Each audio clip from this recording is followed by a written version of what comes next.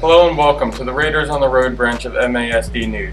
We are thrilled to be bringing you the coverage of the 2020 football game between the Northwest Rangers and our very own Montgomery Red Raiders this Friday night. This game promises to be a strong matchup after last season's playoff game. The Raiders aim to capitalize on their home field advantage and add another W to their record. The live stream link will be available by 6:45 on the school Facebook page and website. Go to